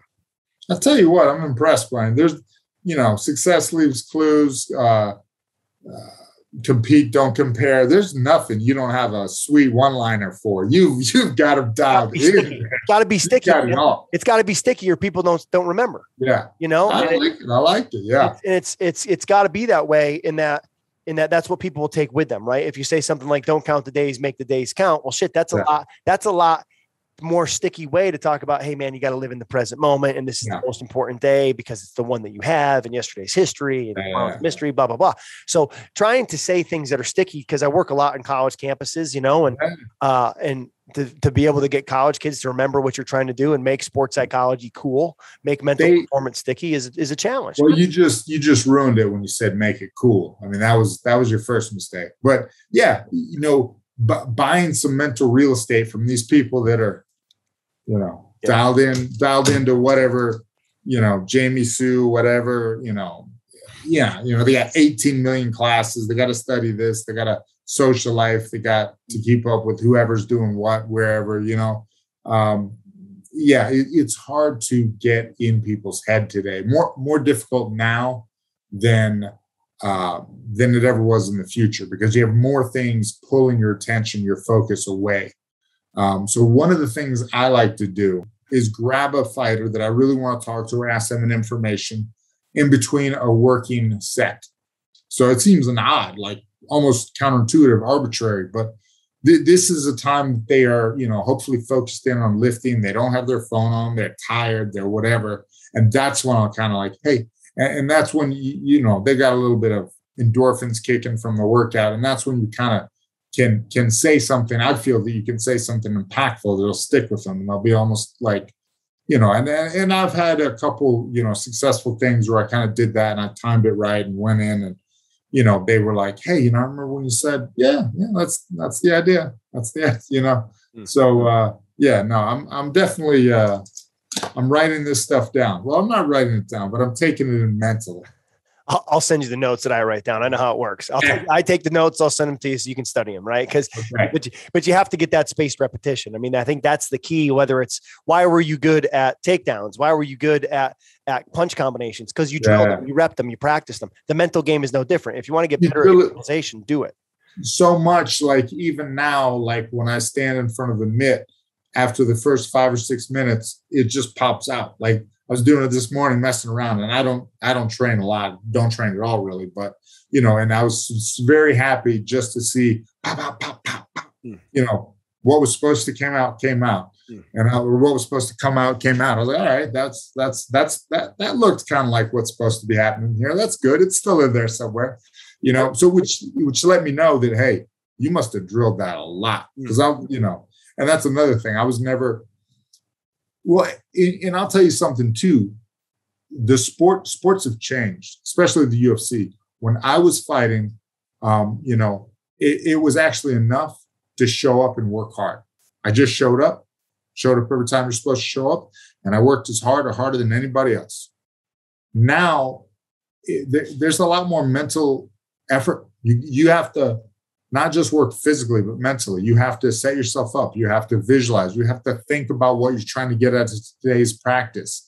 And that's not something I ever did even a little bit. Randy was doing it. He was ahead of uh, you know, he was ahead of his time. But I think now with a sport like MMA or sports in general, there's so much more to it. And I'm I'm listening to the Kobe's and the LeBrons and the Jordans and what they did. And I'm like, oh, they were thinking about those reps. They were they weren't just shooting the ball and hoping that it would go in. They were thinking about everything every time. They were focused in on their cues, you know, the back of the rim, whatever. The, you know, they they had their five or six things that they were focused on. The, you know, the the way their feet moved on the ground before the left cross, before the you know hook cross hook combo, and there, there's you know that that's what I've really come to realize, which you know, as a part of sports psychology, is so important. Being able to focus in and get your attention on the actual practice for that period of time. Not just hey, we're here, we're doing this, but this is what we're doing. You know, you're you're cueing whatever it may be. You know,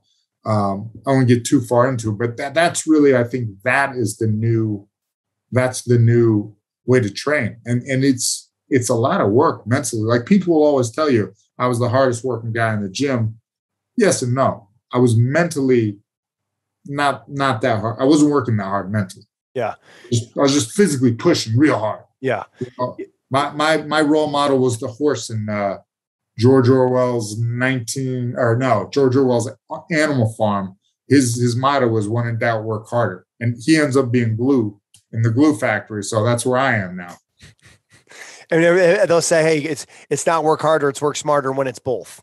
Right? Yeah, it's and both. It's Absolutely. Both. And you got to work hard. But I think if you're at that level that you're at, working hard is a given. Like there's probably not a lot of guys in the UFC that aren't working hard. There might be your couple freaks that have ridiculous. Yeah, yeah. There's talent, a couple. There's a couple. couple. But but now you know, and there was probably more back when you were competing than now because the sport has evolved so much. I mean, it's yep. come so far in ten years that that people grow up now and like when they're young, they're six, seven, eight years old, they want to be UFC, they want to be mixed martial artists and UFC fighters. So they're training all these things and they're playing other sports and they just kind of evolve it. You know, it, it, it's it's it's so far advanced from where it was in the past. You know, um, the sports science, the training, and all that. And I think when you're talking about using sports psychology to improve quality training sessions, it's interesting. My mentor, a guy named Ken Ravizza, whose face I have tattooed on my heart, he was like the first real mental performance coach that was working with athletes. He wasn't the sports psychologist writing the research paper. He wasn't doing clinical, which is important, but not what I do or what he did.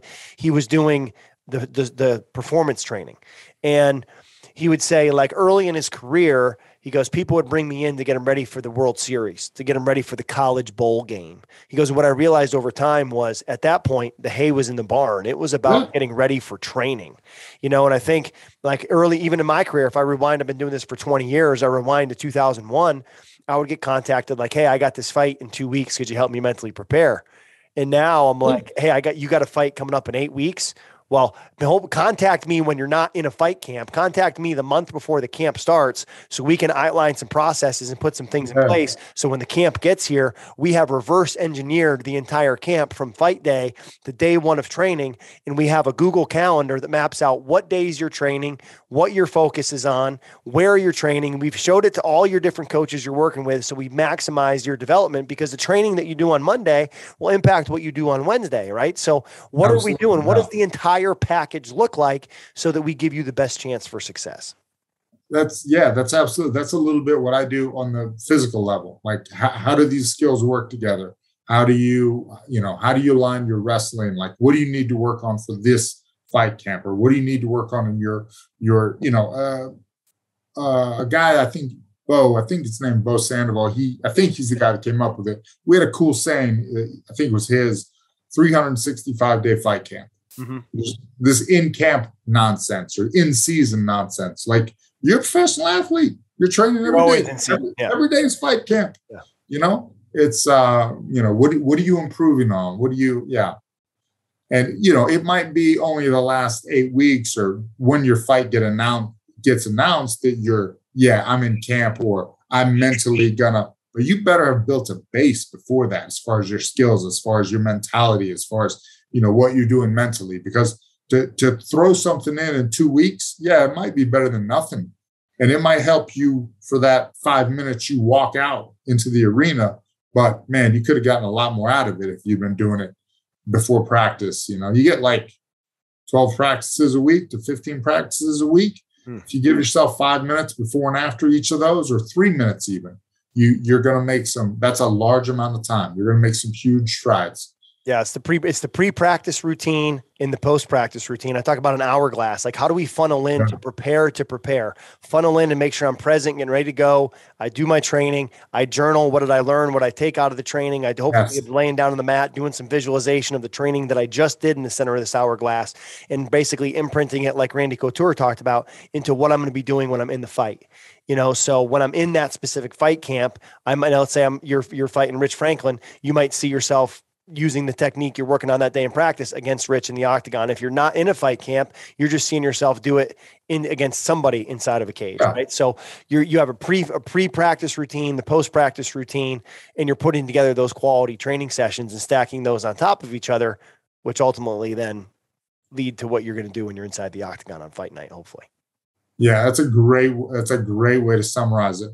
Uh, it's funny. I had the pre-practice routine down, the warm up, the mental prep, what I'm doing, etc. Post practice, I just went on. nothing, nothing.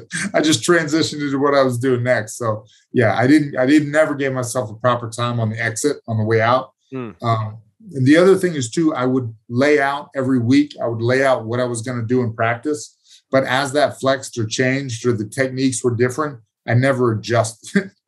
You know, I put like the workout I did, or maybe like the weight that morning, and I had like just journals and journals and journals of stuff I did. I actually finally threw them away, but I'd had them for years, just like you know, ten years of on this weight. I was this. I I lifted legs this amount. I uh, these are the techniques I worked in jujitsu, wrestling. It's pretty hard. Yeah. Mm. Yeah, it's and you know one of the it's funny, you know, be making your best your baseline, right? And this is something that I picked up from George, is he would say when you're always just ready, another, just another. Yeah, yeah, I knew, I knew you would grab that one. Yeah. When you're, when you're, always ready, you never have to get ready, right? Like you say, I always want to be ready and stay in shape. And you know, we the concept of make your best your baseline, like when you're training all the time, like Bo Sandoval, who actually had a chance to work with him with Michigan lacrosse. So if you see him, tell him I said hello. I don't know if he'll remember me, okay. but uh, I know Bo from back when he was Michigan days. Go blue, but um you know, I don't. The the make your best your baseline is like if you're always training and then you're ramping up and you're in your fight camps, um, is that like I'll look at myself now and say the worst shape I'm in right now is better than the best shape I was in five years ago. Like my peak shape five five to ten years ago, Brian. Right now, I sit on a normal day in much better shape than I was then because I'm just more consistent with training. I was about to say, what the hell were you doing five years ago? Oh, man? of course, I'll tell you what, sixty pounds heavier than I am right now, bro. Yeah, you, you, know, and that's another thing too. Um, in your line of work, you you can't you can't be overweight. Correct. It just doesn't work. You know, you know, you convince me to change yourself, and you look like that. And that's one thing I you know, I, I'll never get fat for that reason. Like I, I'm now I'm just super skinny, which sucks, but it is what it is. Um, you know, for me, every day I'm in the worst shape of my life. Today is the worst shape I've ever been in in my life, but it's the best shape I'll ever be in in my life. Because yeah. tomorrow I'm going to be just a little bit worse. Hey, I want you to, I want you to go back to something you just said though and unpack that about how you can't be fat in this line of work. And yeah. I, I, agree with that 100%. I remember the day clear as day. My my advisor at the University of Vermont, where I was a phys ed student, yeah. uh, a guy named Declan Connolly, exercise physiologist, was, was working with the New York Rangers, a bunch of Olympic organizations. I asked him to come up and speak at a school when I was an athletic director. Yeah. and he's in Irish accent. Mr. Cain, I'll come up there and speak to your school, but you're gonna have to you're gonna have to go for a bike ride with me. We're gonna ride around that lake up there. And I'm like, shit, I don't even own a bike. So I find a bike. We go for a ride.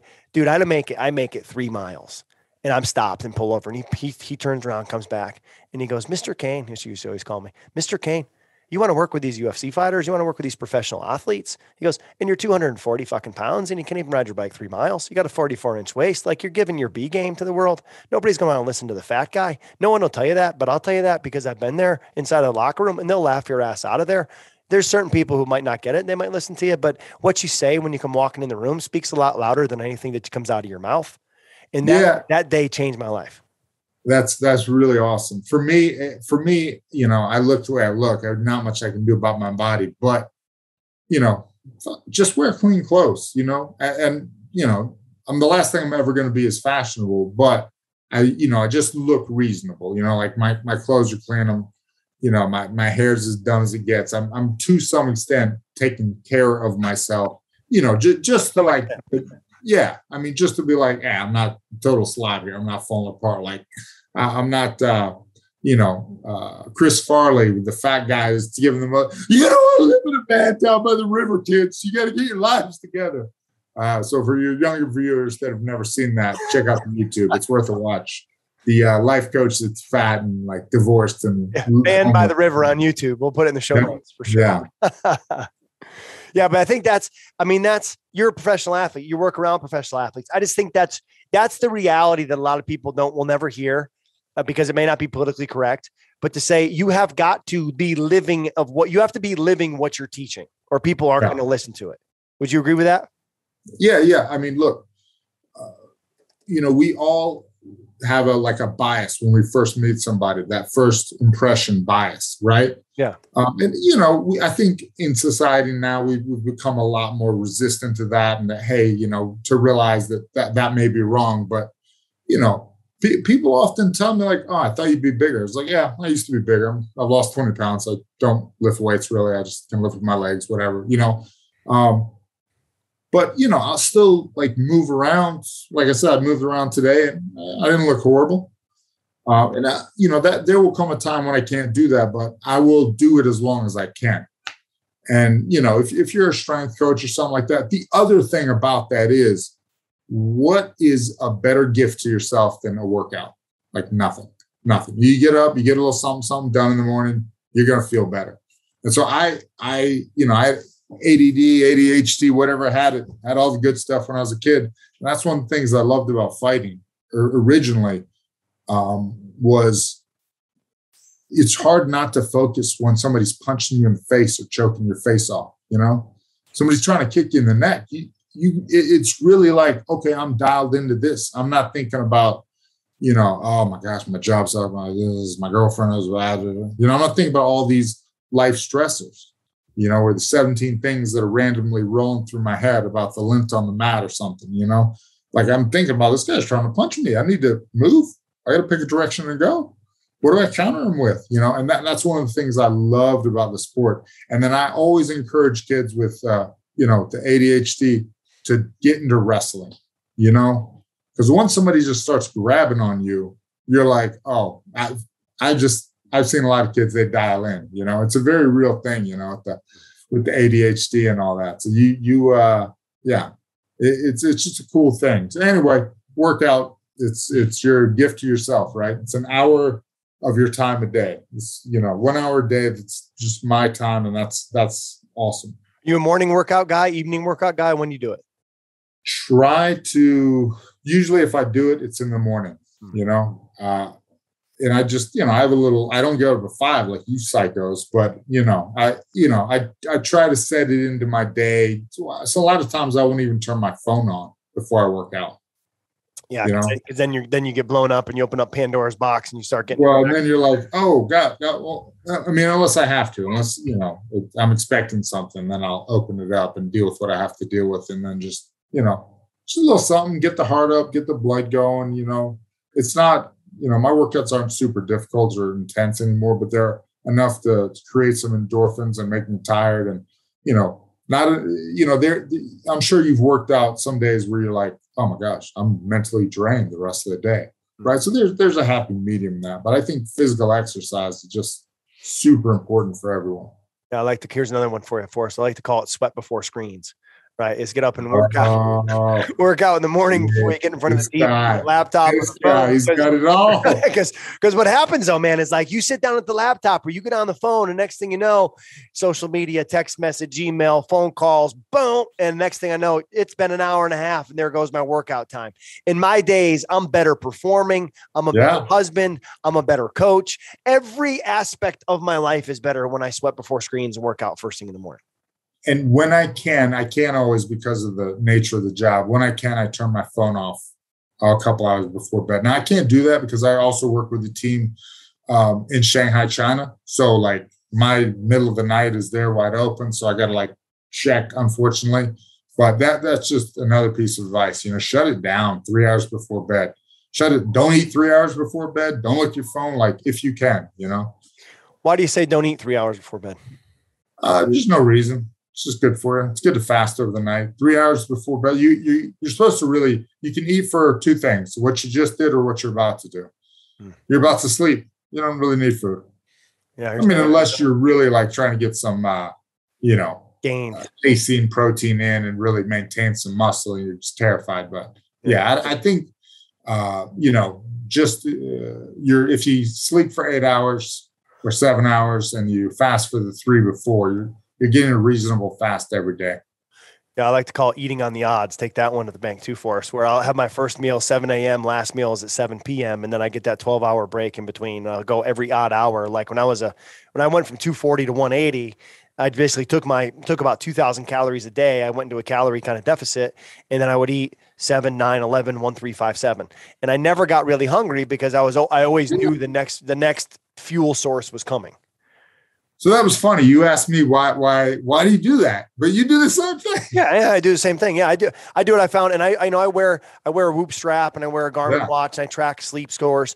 And I found that when I eat two hours or more, but I try to get my last bit of food down at least two hours before bed. I find I sleep yeah. a lot better. I get my my last fluid down two to three hours before bed, so I'm not waking up going to the bathroom during the night. I try to have a caffeine curfew of noon so that um because if I have it later in the day, like yesterday, my whoop score did not register sleep because I did not sleep because I was laying in bed all night excited for this podcast, but it was really because I drank a bang at like 7 p.m. Yeah. Well, that's crazy talk. So for me, uh, two o'clock is a hard, hard, hard, hard out on caffeine. Two o'clock. Yeah. yeah. So 155 hits and you're on it. no, no, I, get that last, get that last drop in. Get that. In. But then you get you get into a cycle, right? Where then it's like, okay, I get the ca- I, I make a mistake because I have to do it because I have to perform or something's going on. I hit the caffeine late. I don't sleep, and then the next day I'm a zombie during the day, so I'm hitting the caffeine during the day. And at some point, at some point, you just got to suck it up and go into turbo mode and go, okay, I'm gonna have to grind through this at some point with no caffeine to get me back into the normal sleep cycle. You know? Yeah, and I mean, if you're a real stud, you can do a little physical activity, just like a four minute Tabata of jump squats or something hard and wake yourself up. You can cold shower. We have an ice tub at work. Sometimes I'll get in that yeah. before like a late. I didn't tonight. I didn't have time. Um, but but I'll get in the, the, ice tub sometimes, and you know that's a similar endorphins to caffeine. You know your catecholamines or whatever they are, they're gonna be they're gonna be kicking you. You're gonna wake up a bit. You get in that suck for a couple minutes. Oh yeah, yeah, big fan of the cold tub. Forrest, hey, I want to be respectful of your time here, man. I appreciate you joining us on the Mental well, Performance hey, podcast. I want to thank you for giving me this hour of free uh, therapy. I want to thank you. I've got a lot out of it. I don't know if I caught all the the catchphrases, but yeah. no, it's been great to speak to you again. I'm a fan of your work. Keep up the good work, and thank you much. And um, can you edit this to make me sound really smart? That would be great. Yeah, I, and then we'll uh, we'll keep the cat on the on the keyboard. We'll we'll yep. make sure that we feature your daughter walking in and out. And then yep. last question that we had was, uh, what are you growing behind you there, buddy? Um, well, hey, you know, I got to be honest. It's uh, marijuana is legal in Las Vegas, but I'm not growing it because I don't know how. These are my wife's plants. I don't know what they are even. And the, just, they make her happy, so I make sure that they're happy. The the the the craft room slash greenhouse at the Griffin House. that's right. That's right. Awesome, Forrest. I appreciate um, being with us here, man. For people that want to engage with you, that want to follow you, what's the best place for them to get you? Is it on Instagram? Is it on Twitter? What's the best place yeah, for our listeners um, to engage? I think it's it's uh, www at leave me alone. No, I that's I'm, I'm on the socials at Forrest Griffin. You know, yeah, I'm around there somewhere. Awesome. Forrest, thanks for being with us, man. I appreciate you hopping on. All right. Much appreciated. Thank you.